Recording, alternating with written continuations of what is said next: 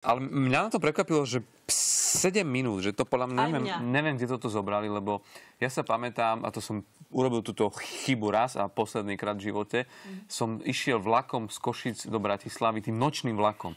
A kúpil som si lehátko, bolo, mohol som mať sám, ale bolo to drahšie, tak som si kúpil do tých spoločných. S nejakou babou. No, kiež by. Kiež by. Tam sme boli chlapi, lebo to je tak nejak rozdelené. My, a neviem, možno, že boli zmiešané. Ale to bolo, že dole na jednej strane, hore na jednej strane a takisto oproti. No počujete, tí boli tak zladení, že jeden, my sme, zas, ja som sa zaspal, som počujem vedľa. Tak z, z nejakého sna. Teraz my kúkame na seba s tým horným, čo toto je. Teraz ten sa ukľudnil, teraz ten hore. Na tom začal. Mami, mami. Ja si hovorím, čo toto je? Že teraz pozerám na tú druhú. Tento, tento sticho konečne, konečne bude dobre. A teraz zrazu tento začal. A nepojdem, a nepojdem. Kúkam.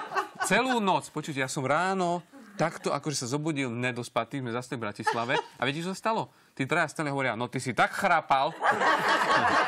Posledný krát, 7 minút. Áno, Celú to- noc zaspávali. Prepač, len toto no. schrápanie moja dcera išla takýmto istým vlakom do Berlína a tam bolo 6 ľudí, 6 posteli a ona bola na najvyššej a v takej úzka ulička a na tej druhej strane bol tiež nejaký pán.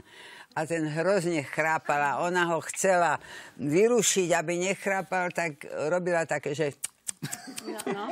a on sa zobudil a šup, už bol na jej posteli. To nebol dobrý zvuk. Ale mne tiež, ako Tomáš spomínal, tiež dnes ráno mi moja pani hovorila, že budila som ťa v noci, lebo chrápal si. No. Aj, aj v noci ma zobudila, že Mišo, chrápeš, vadí mi to. A ja som povedal, že prepáč, akože e, ja to neviem, ja to neviem vypnúť a práve ma mrzí, lebo som si pre teba pripravil 7-hodinový playlist. A... Ale keď sa ti to nepáči, tak nemusím.